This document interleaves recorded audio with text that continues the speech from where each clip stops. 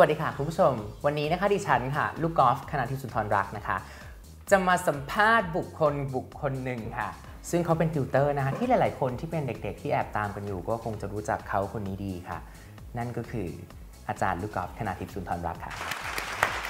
สวัสดีค่ะอาจารย์คะ Hi ดูเคร่งเครียดมากนะคะในฐานะของพิธีกรเกิดอะไรขึ้นเกิดอะไรขึ้น ก็สวัสดีทุกคนนะคะ ลูกกอล์ฟค่ะคณะทิพย์สุนทรรักนะคะ ปัจจุบันก็เป็นติวเตอร์ที่สถาบันกวดวิชาของตัวเองนะคะ ที่แองกฤษค่ะตรงจุฬาเริ่มที่คำถามแรกกันเลยค่ะอาจารย์ น้อยคนนักจะรู้ว่าจุดเปลี่ยนที่ทำให้อยู่ดีๆคนคนหนึ่ง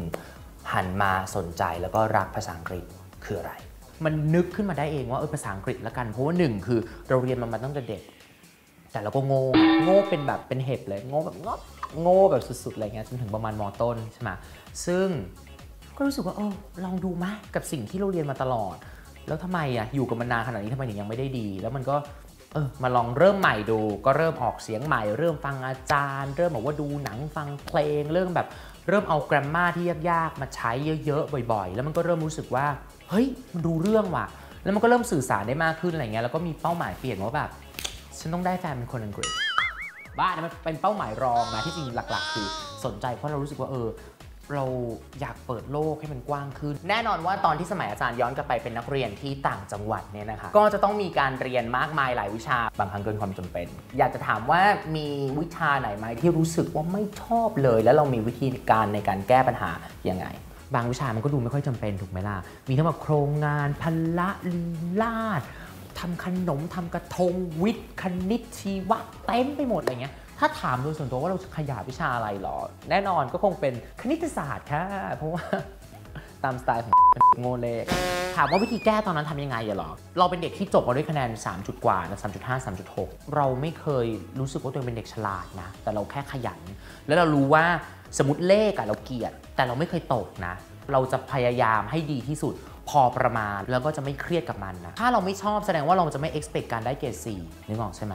แต่อย่างวิชาที่ชอบอังกฤษต้องได้4ต้องต้องดีทำให้ดีที่สุดไปเลย คือเราต้องยอมรับว่าปัจจุบันนี้เด็กไทยเนี่ยยัง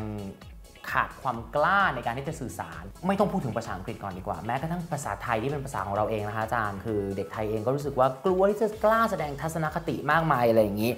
อาจารย์มีสิ่งอะไรที่อยากจะบอกเด็กๆด้วยประโยคเด็ด ๆ อะไรไหมคะกับเด็กกลุ่มนี้ที่แบบว่าเขาต้องเรียนหนังสือ แต่เขาแบบไม่กล้าที่จะพูดแสดงความคิดเห็นของตัวเองออกมาเลย คือเราว่ากะความกล้าเนี่ยมันจะต้องสร้างเอง มันไม่มีใครสร้างให้ได้นะความกลัวเนี่ยก็ต้องขจัดเอง ความขี้เกียจก็ต้องขจัดเองที่จริงแก่นมันแค่เนี้ยทุกคนดูเหมือนจะเข้าใจแต่คนน้อยมากทำได้ แล้วคนที่ทำได้นั่นแหละคือคนที่มักจะประสบความสำเร็จในการเรียน ดังนั้นต้องเข้าใจก่อนว่ามันไม่มีใครในชาติในโลกนี้สามารถสอนให้มนุษย์คิดได้นะการมอบความรู้มันมอบได้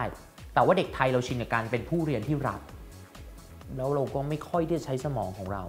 ในการคิดต่อยอด ไม่ค่อยแสดงความคิดไม่ค่อยแสดงทัศนะนู่นนี่ซึ่งเรื่องพวกเนี้ยมันไม่มีใครสอนเราได้นะว่า คิดสิคิดเวลามีอาจารย์บอกว่าคิดเราก็จะแบบ คิดไม่ได้อะนึกออกไหมดังนั้นมันเป็นเรื่องเดียวที่คุณต้องฝึกด้วยตัวเอง ความรู้ที่ได้มาเอามาประมวล แล้วทำให้มันตกผลึกให้ได้ว่าลองถามตัวเอง วันนี้ที่นั่งเรียนไปอะแปดคาบอะอะไรบ้างคือความรู้ที่มันอยู่ในเนี้ย จากการเปิดโรงเรียนมาไม่นานตอนนี้ก็เท่าที่ได้ข่าวมาก็คือ 3 ปีถูกไหมครับสำหรับ English English Academy เนี่ยอยากจะถามว่าจุดเด่น อาจารย์คิดว่ามันคืออะไรที่ทำให้เด็กๆเนี่ยหรือว่าผู้ปกครองเองให้ความสนใจสถาบันแห่งนี้คะก็ เออไปถามจากนักเรียนแล้วกันว่าที่นี่จุดเด่นเป็นยังไง แต่ที่จริงถ้าเกิดว่ามองด้วยสายตาเอาแบบผิวเผินเลยนะ คุณก็คงจะเห็นแล้วล่ะว่า